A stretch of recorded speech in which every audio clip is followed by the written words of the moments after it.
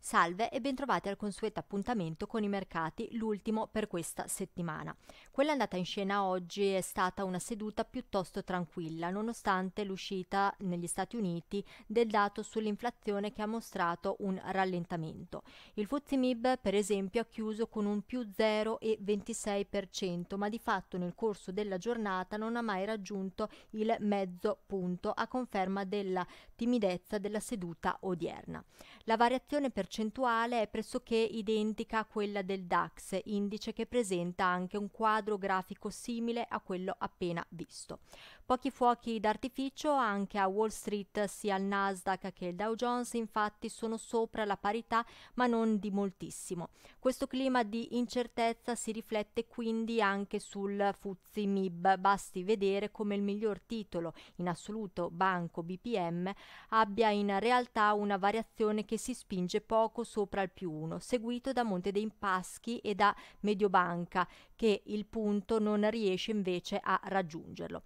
Eh, cambiando comparto, Diasorin continua la sua risalita dopo il tonfo di una settimana fa, così come continua a recuperare anche Snam. Così come avviene per i migliori titoli, anche i peggiori mostrano percentuali moderate. Al primo posto c'è Amplifon che si limita, per così dire, a un meno 0,88. Seguono Ferrari, Iveco, Moncler e Inuit, tutti a breve distanza dal mezzo punto percentuale.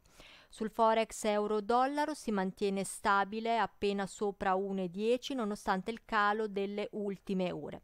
Euro-sterlina invece si è sempre mantenuto in territorio negativo con qualche decimo di punto percentuale di ribasso. Segno contrario per euro-yen che guadagna terreno riavvicinandosi a quota 157. Chiudiamo con l'analisi del trader Filippo Giannini. Salve a tutti, ospite delle interviste di Trader Link di oggi Filippo Giannini di tradingfacile.eu. Daremo uno sguardo insieme a lui all'S&P 500. A te la parola. Sì, ciao Rossana e bentrovata.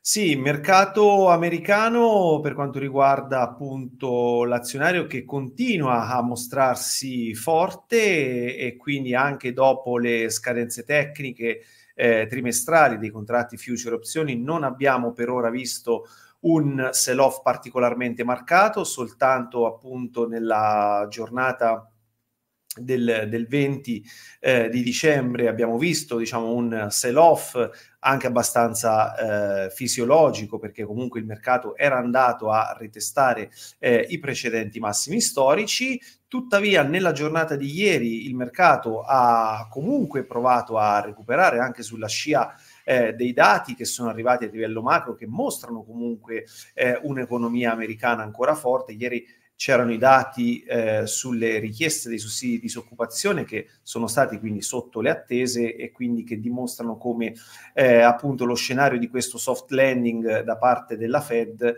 possa essere ancora quello più atteso. Quindi anche oggi il mercato sta eh, cercando di recuperare ulteriormente e quindi qui eh, occhio perché se eh, dovessimo appunto eh, tornare sopra quota 4.800 punti, a quel punto qui il mercato vedete che completerebbe un eh, modello appunto di eh, accumulazione rialzista e quindi secondo me ci sarebbe spazio per tornare ad attaccare i precedenti massimi storici.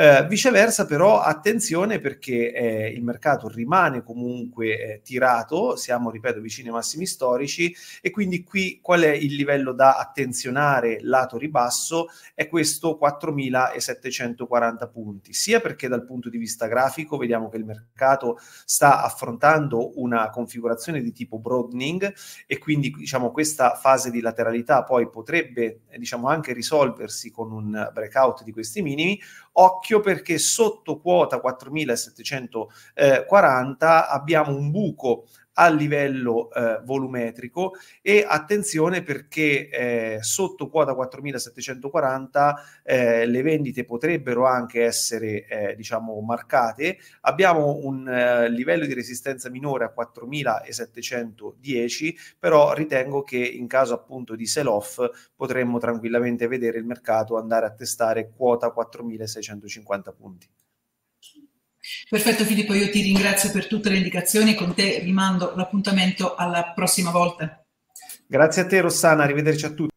abbiamo terminato, ci ritroveremo mercoledì 27 dicembre insieme alla riapertura di Piazza Affari dalle festività. Un saluto e un augurio di buone feste, arrivederci.